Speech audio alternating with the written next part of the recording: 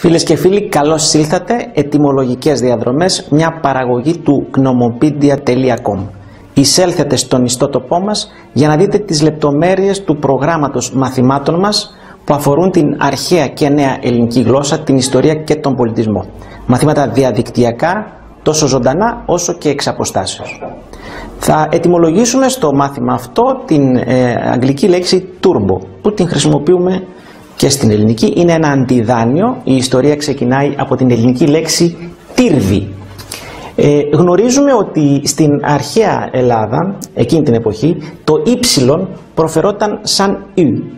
Το β ως μπου και το η ως ε. Άρα πιθανότατα η προφορά της λέξης ήταν κάπως τουρμπε.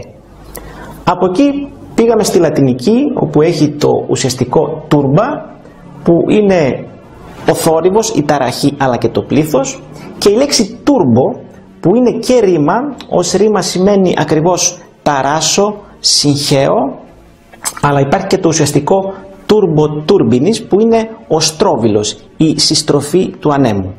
Αυτό που τι λέμε turbo σήμερα. Turbo είναι ε, μια, ένας κινητήρας που δουλεύει με τουρμπίνα. Τουρμπίνα είναι μια περιστροφική μηχανή που κινείται με την θερμική ενέργεια του αέρα ή αερίου και χρησιμοποιείται σε μεγάλες εγκαταστάσεις παραγωγής ηλεκτρικής ενέργειας στους στρόβιλοαντιδραστήρες των αεροσκαφών και στους κινητήρες των ε, αυτοκινήτων.